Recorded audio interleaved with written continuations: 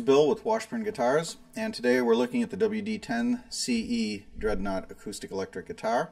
Uh, we've been building guitars for 131 years now, and uh, one thing we do know is how to make a great sounding acoustic guitar, and also one that's inexpensive, which is what you get with the WD-10 CE. Uh, let's take a look at some of the features here.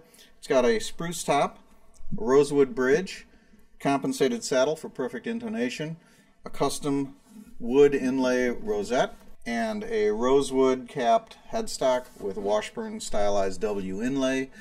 Uh, on the back we've got die-cast tuners, a satin finished mahogany neck so that you don't get hung up on a gloss finish, and uh, mahogany back and sides. And it's got a Fishman 301T Isys preamp tuner.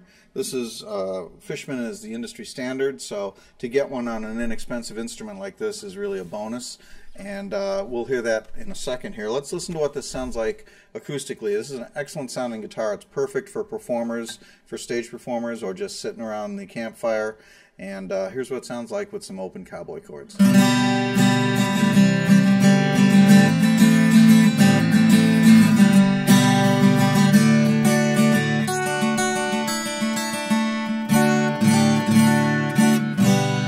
Chords sound great all the way up and you've got a cutaway for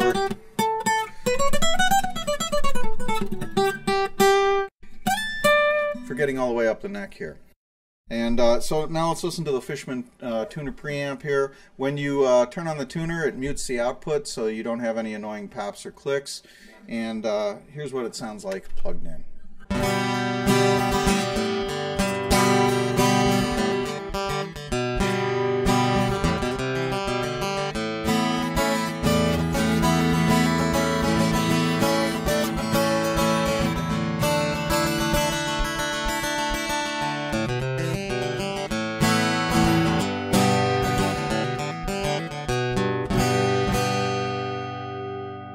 So that's the WD-10CE acoustic electric guitar from Washburn. For more information, visit washburn.com, and I'll see you in the next video.